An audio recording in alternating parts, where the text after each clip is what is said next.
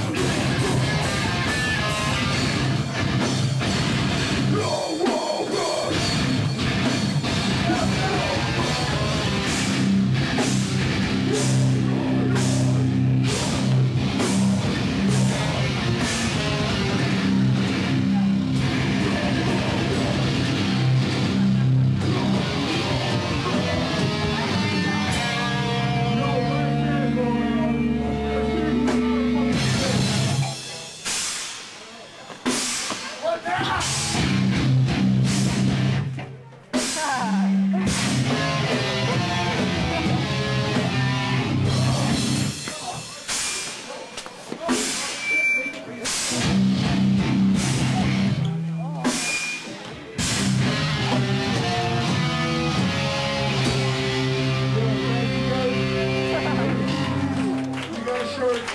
know you got Mark on the